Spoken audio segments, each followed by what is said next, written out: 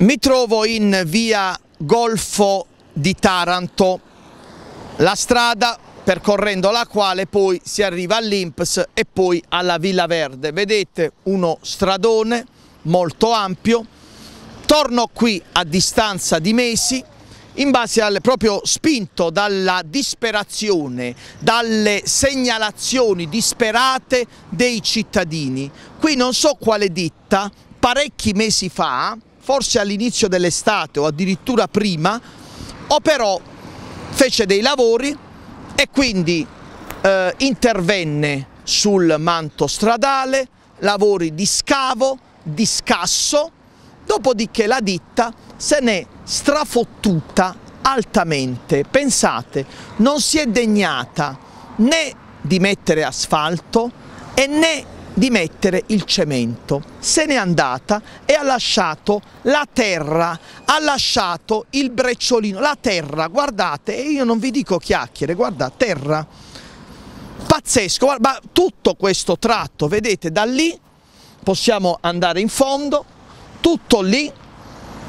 e arriviamo in fondo qui. Tanto, dice la ditta, io ho un'amministrazione comunale che non se ne frega niente, che non controlla. Io ditta posso fare i porci comodi miei, tanto nessuno mi dice niente e quindi qui vi è la responsabilità dell'ente che ha commissionato il lavoro alla ditta. Guardate, ci troviamo proprio in prossimità di una fermata del bus, guardate, è normale che la, le persone debbano prendere il bus in queste, in queste condizioni?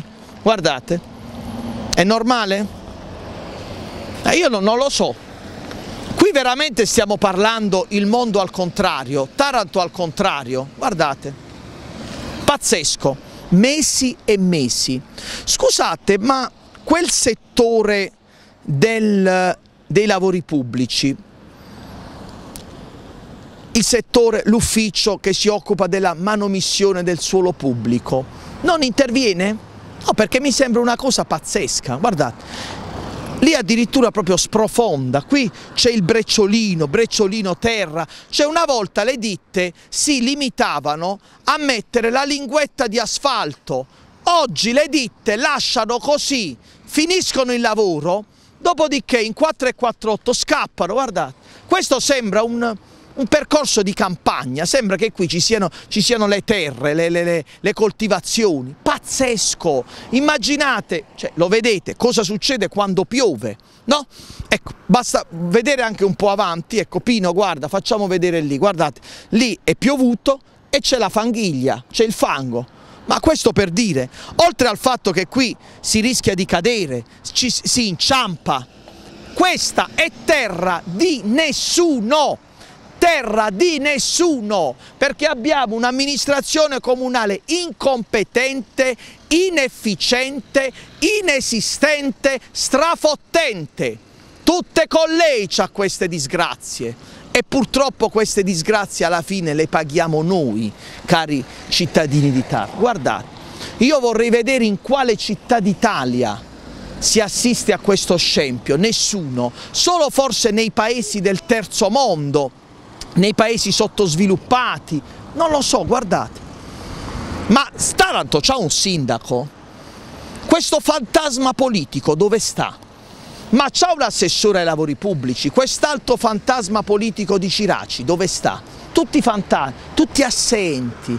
Questo è patrimonio, l'assessore al patrimonio, patrimonio del comune di Taranto, strade comunali, che vengono stuprate, che, che vengono, grazie, cittadini che si complimentano, citt eh, strade che vengono sfregiate nell'assoluta indifferenza e nel menefreghismo di Rinaldo Melucci e compagni. E voi parlate di Taranto, volete spacciare Taranto per capitale europea. Voi siete amministratori da terzo mondo, da terzo mondo, perché solo amministratori da terzo mondo possono tenere una città in queste condizioni. Le ditte fanno i cazzi loro, fanno gli stracazzi loro, perché voi permettete alle ditte di fare i cazzi, i cazzi propri, scusate la volgarità, e lo dico con la rabbia, con la rabbia dei cittadini che abitano qui, non ne possono più. Un mio amico che vive in Romania e che ha i parenti, i familiari qui, è disperato, mi sta segnalando la cosa, dice sono passati mesi, mesi e mesi.